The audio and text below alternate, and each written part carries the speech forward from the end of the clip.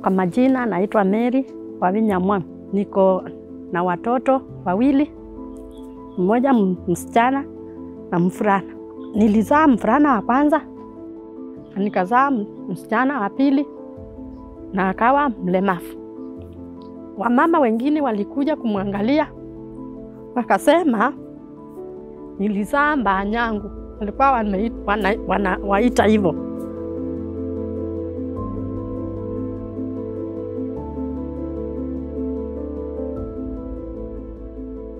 Jina ni Damaris Mwende Mwangu. Nikiwa shule mchezo sikuwa na participate, lakini nilikuwa naenda tu, sikuwa na hiyo hamu ya kuparticipate. Nilikuwa tunaambiwa nicheze, lakini sikuwa nataka. Lakini ilifika mahali tukaanza kuenda hizi za nini, special needs, huko tulikuwa tushazoeana, tukazoeana tu tukiwa wote juu kuna wengine wako na shida kubwa kuniliko. Nikaona tu mimi niko afadhali, niko na miguu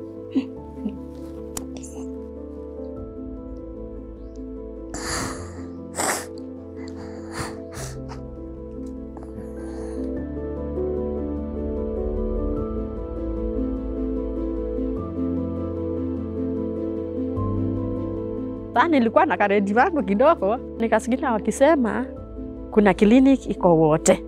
Nikakimbia nikakuja nikaambia baba yake, alikuwa hapa, kamwambia ama walisema ni bure, mi itaenda.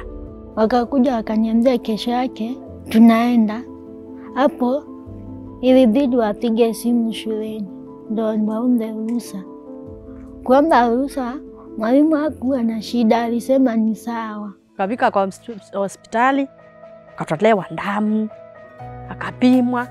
Sasa tukaambiwa aturudi nyumbani, atatibiwa kesho asubuhi saa mbili. diwali aliambiwa sasa, Damaris chansi iko juu, saa taenda. Damaris alienda saa tano, ndio Damaris alikui. Ai, niliona kama sio msichana wangu nilikuona alikuwa smart, nikaona kama amepinduka kweli, ni yeye. Aliamka kaambia mama, sasa niko sawa. Anaangalia kwa kioo, nikamwambia si ona uko sawa. Nikampikia babake simu, nikamwambia sasa, sasa tuna tunakuja nyumbani. Tukifika hapa watu walikuwa wengi, uh, walikuja kumwangalia, kila mtu anataka kumwangalia. Ndamari suko smart.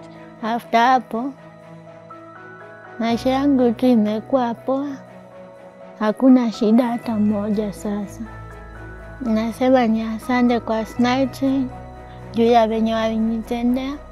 Hiyo ni jambo nzuri, wamepindua maisha yangu.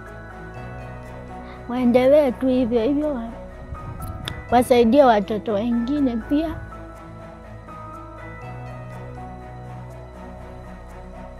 Wenye pia walinisaidia, nasema ni asante sana.